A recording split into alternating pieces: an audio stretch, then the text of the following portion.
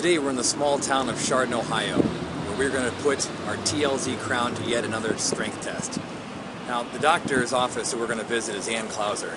She doesn't have time to meet with us, she's a little busy today, but she's agreed to allow us to use her dental press that goes up to 7,000 pounds to test the strength of our TLZ crown.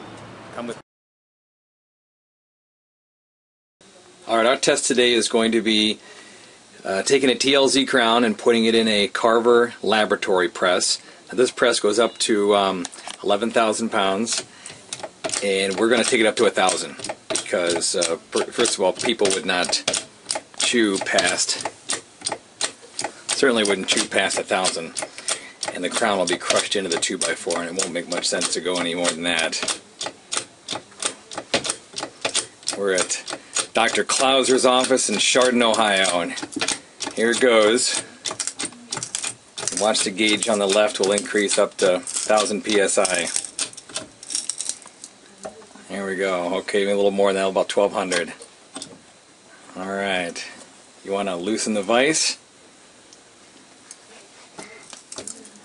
Right, down she comes.